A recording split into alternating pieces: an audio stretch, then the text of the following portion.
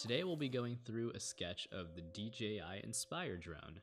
Uh, this is a fun one to sketch. Uh, whether you're new to sketching or experienced, I think the best way to practice or learn for the first time is to just watch other people sketch. So today we'll be going through the whole process from beginning to end. Let's get started. So for the majority of my sketches, I just use a set of Copics in their various shades of gray and Prismacolor black and white pencils. Uh, to begin with, we're starting with the C0 Copic marker. And the hardest part, I think, is staring at that blank canvas and the intimidation of, you know, laying down those very first lines. As you can see here, I'm just getting a feel for where that rendering will fit on the page, um, where that camera goes, where the body goes. And you can see that I've, you know, messed up a couple times just to get a feel for where things will actually go. And since this is a time lapse, which is pretty great, you can see those those lines start to fade away. So you really want to keep things super light because it really helps you, you know, get that out of your head or um, and onto the paper.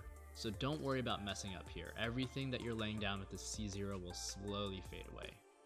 Um, so I'm outlining all the basic forms uh, in their various geometries. You know that the camera is really just um, an extruded cylinder.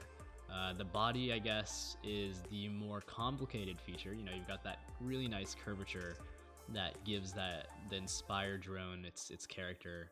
Um, everything else, though, is just a basic composition of your uh, typical shapes, uh, rectangular prisms, cylinders, so on and so forth. So now I've shifted to a darker C3 because I'm getting more confident with where these elements are in relation to one another.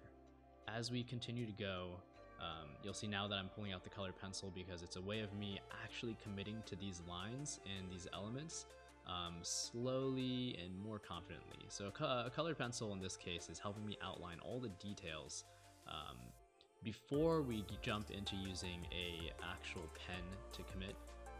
And you can think of this process as kind of like making your own coloring book. Uh, you're drawing in all the details that eventually will come back through and fill in with color. Uh, and then this part of the process is where you get to determine how detailed and patient you want to be with your sketch. Um, the more detail you add and the more patient you are, obviously the better your sketch will look. Um, so in this case, not only am I outlining the more serious constructions, the important elements, but also uh, looking through the sketch and adding in the tiny little features and details that'll make it realistic at the end. Um, so now for the fun part. Uh, we're grabbing some of the darker markers. And what I generally do is I start to lay down the um, general shadows and highlights, uh, different various parts of the product. Uh, some people will go through the entire product with a light and and then slowly work their way up to darker color, but I like focusing on one element of the sketch at a time. So unfortunately I've jumped through a lot of stuff where my camera's SD card got filled, but uh, at its core it's just layering those colors. And the fun part is where you come back uh, to the sketch with your colored pencils and really make things pop. Uh, the white, in this case, uh, not just serves as the highlights, but as the brightest part of the product, which is the body of the drone. Um, in the black colored pencils, those Prismacolors really can darken up those shadows. Um, and finally, you'll add your details as fit. Um, any additional colors, in this case, I use I have a bunch of Prismacolors lying around for um, the lens and the lights. And there you have it. So this was a shorter tutorial because I did lose a lot of footage, but I hope you all still found it helpful in some way, shape, or form. Uh, keep on practicing, keep on sketching, and subscribe if you already haven't. I promised myself I'd upload more videos in 2018.